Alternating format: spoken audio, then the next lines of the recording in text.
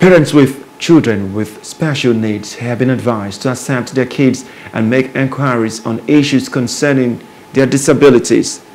The advice was given on the sidelines of a diversity, equity, inclusion, and disability dialogues put together by a group called Collaborating Hands.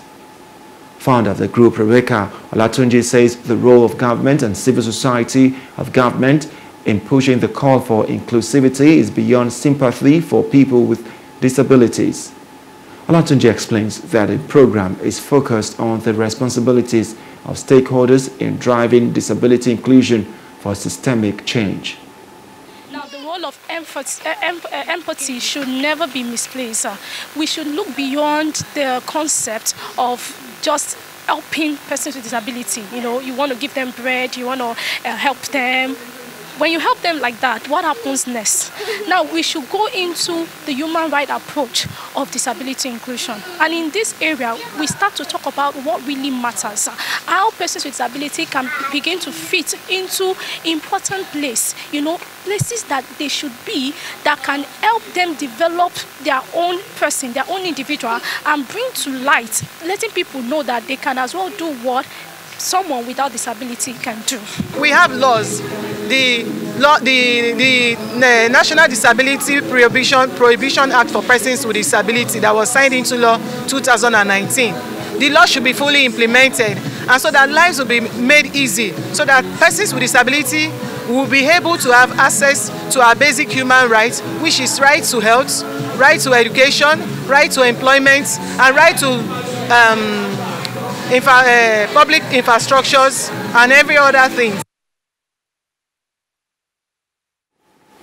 The series of events has focused on role of language communication in promoting inclusion, disability awareness, as well as educating individuals and corporate organizations on human rights approach and best practices of driving inclusion of IDPs. Parents and others present were taken through the process of learning sign language so as to communicate better with their children and words. Can now say that I'm my, my girl's best friend. Before, when she's explaining things to me, I have to call somebody that can sign and ask the person, please, what is she saying? But now there's no need for that. Now I can sign, I can spell from ABC the, the alphabet.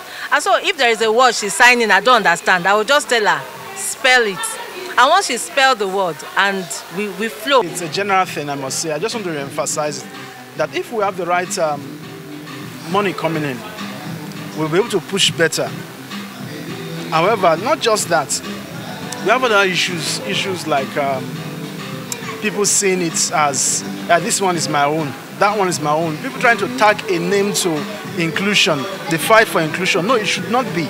We all should have a way that we fight together.